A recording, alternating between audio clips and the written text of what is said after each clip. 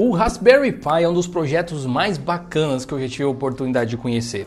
E hoje nós vamos montar um setup completo com o hardware oficial da Raspberry Pi Foundation, incluindo mouse e teclado. Mas será que vale mesmo a pena comprar esse kit completo com teclado e mouse? O que, que você pode esperar do Raspberry Pi? E dá para usar ele no lugar de um desktop tradicional? Nós vamos descobrir isso juntos, graças à galera da Felipe Flop, que é uma loja de componentes eletrônicos que é revendedora oficial do Raspberry Pi aqui no Brasil e é uma das maiores lojas online de componentes eletrônicos impressão 3D do país. E além disso, eles também publicam vários materiais em texto e vídeos na internet ajudando os makers a criarem projetos bem legais. Olha só, se você acessar o site deles e ir nessa opçãozinha aqui de kits, você vai ver que eles vendem alguns bem legais, que tem exatamente os componentes que eu vou mostrar para você. Mas para quem preferir, dá para comprar tudo avulso também, incluindo o teclado e o mouse que eu vou mostrar para você que já tem um Raspberry Pi, quem sabe. E eu tenho uma pergunta para você aí que está assistindo em relação a Felipe Flop.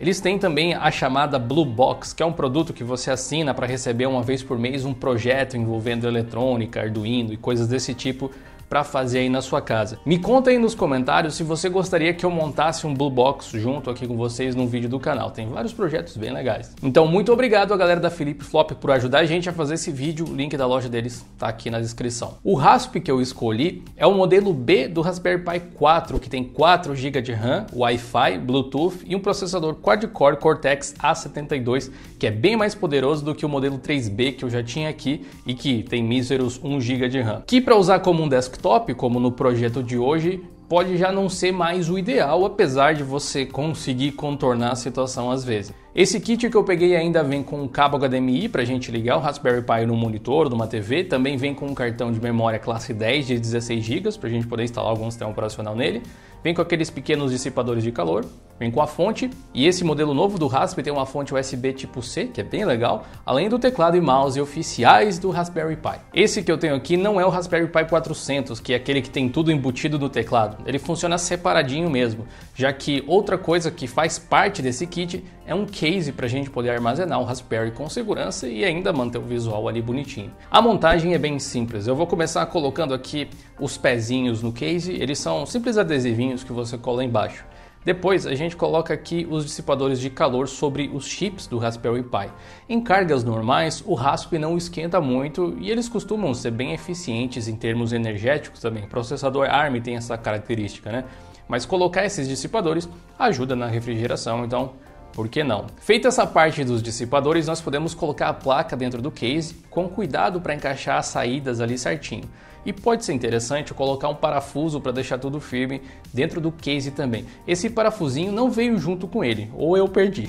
não sei, eu tenho o dom de perder parafuso, mas acho que não veio junto mesmo. Já o mouse e o teclado não tem realmente segredo. Você tirou eles da caixa, eles já estão prontos para usar. E eu acho que vale a pena a gente falar um pouco das características desses dois componentes que são bem diferentes. Né? O mouse até me lembrou um pouco a pegada do meu G203 da Logitech. Ele é simples, sem botões adicionais, ele tem o clique direito, o clique esquerdo e o scroll, com aquela opção de você clicar no scroll também. E ele é bem simétrico, você reparou, o que faz com que ele funcione bem tanto para destros quanto para canhotos, o que faz com que ele seja também bem ergonômico, especialmente para quem tem mãos grandes como eu. Inclusive, em breve vamos ter um vídeo sobre um novo mouse focado em ergonomia e produtividade aqui no canal. Então, não deixe de se inscrever para não perder esse conteúdo e lembre também de deixar um like, assim o YouTube vai te recomendar mais os nossos vídeos ao longo do tempo. Ainda sobre o mouse, ele tem um fio bem curtinho, ele tem só 63 centímetros, que é pensado para ser usado em conjunto com o teclado do Raspberry. E você já vai entender por que disso. O teclado, por sua vez, tem 78 teclas num layout compacto e totalmente em inglês.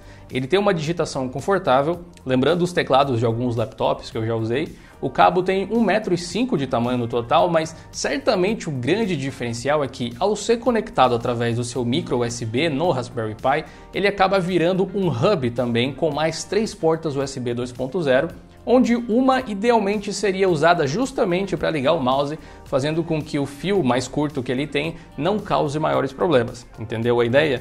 Usando ele, eu percebi que ele não tem uma construção super resistente e com a aplicação de um pouquinho de força ele consegue dar uma boa empenada, o que não é um bom sinal. E eu tenho mais algumas críticas importantes para fazer sobre o mouse e o teclado, mas eu vou deixar isso para daqui a pouquinho. Segura aí. Um kit desses, sem o teclado e o mouse, sai em torno de uns mil reais lá na Flip Flop. E francamente, hoje em dia é muito difícil você conseguir comprar um bom computador por esse valor, ainda mais novo. Então, dependendo da circunstância, o Raspberry, mesmo no Brasil, onde os preços não são tão baixos quanto poderiam ser por causa de imposto e tudo mais, ainda pode ser uma opção interessante.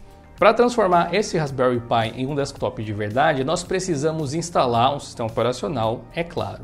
No caso, eu vou instalar o Raspberry Pi OS, o sistema oficial do RASP, que é um Linux baseado no Debian com uma interface super leve e vários utilitários para facilitar o uso do dispositivo. Se você está querendo aprender mais sobre Linux, você está no canal certo, então não deixe de conferir a nossa playlist para iniciantes, o link está aqui na descrição também. Usando um outro computador, nós podemos instalar o Software Imager, que é o programa oficial do Raspberry Pi para criar cartões de memória bootáveis com imagens do sistema tem algumas outras opções bem legais ali, mas isso fica para um outro vídeo.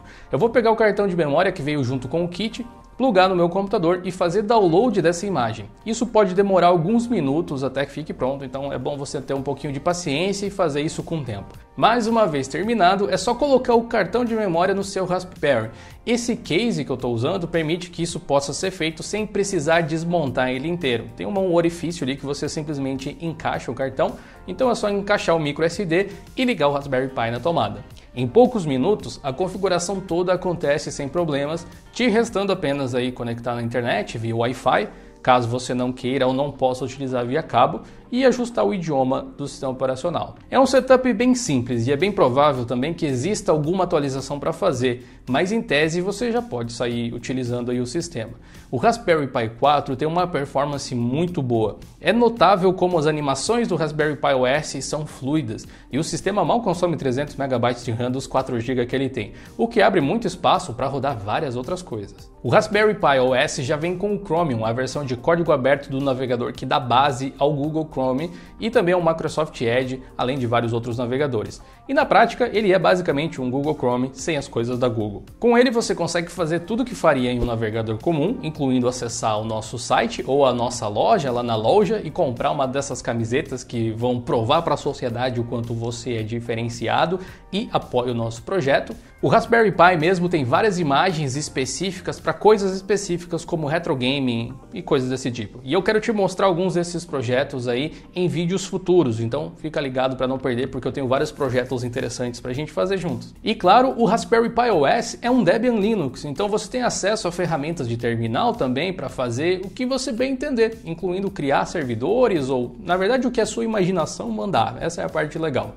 Mas voltando lá para o conceito de kit, será que realmente vale a pena comprar um kit completo assim com teclado e mouse do Raspberry Pi? Bom, a verdade é que Depende. Depende das suas intenções. Uma coisa é importante frisar: apesar deles funcionarem de acordo, tanto o teclado quanto o mouse acabam sendo caros pelos valores que eles entregam para o usuário. O grande trunfo do teclado é realmente ter a função de hub, mas todo o restante não tem nada de excelente ou de premium necessariamente.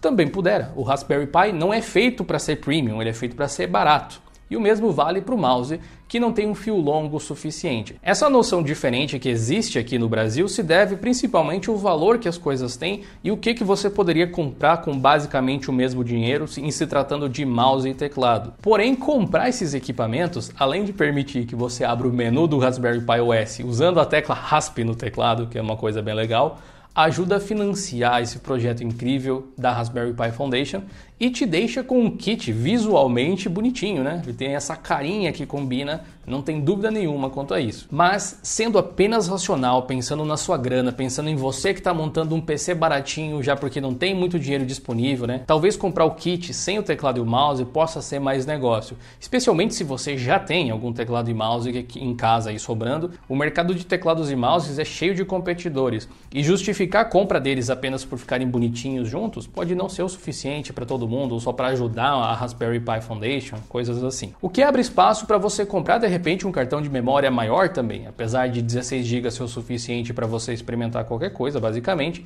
um cartão maior seria bem conveniente se você quiser manusear alguns arquivos mais pesados, por exemplo. E claro, uma coisa que não é considerada muito nessas horas é um monitor ou uma TV. Isso não vem com Raspberry, é claro. E eles podem ser bem caros. Então, ou você pega de uma de segunda mão, né, vai e pega um usado, ou você pluga em algum que você já tem por aí. Então, dentro dessas circunstâncias, você consegue ter um computador bem funcional com 4 GB de RAM, ARM quad-core com o armazenamento que você decidir colocar por um valor que fica em torno de R$ 1.500, incluindo até o cabo HDMI que você vai precisar, o que é um grande feito nos dias de hoje. E hoje nós temos também o apoio do Sandbox, que é um serviço que te ajuda a manter a caixa de entrada do seu e-mail em dia e organizada. O Sandbox tem bots que organizam a bagunça por você, separando o que importa do que é simplesmente lixo evitando que você caia em golpes de phishing e receba spam. Acesse sandbox.com.br de Linux e receba 25 dólares de crédito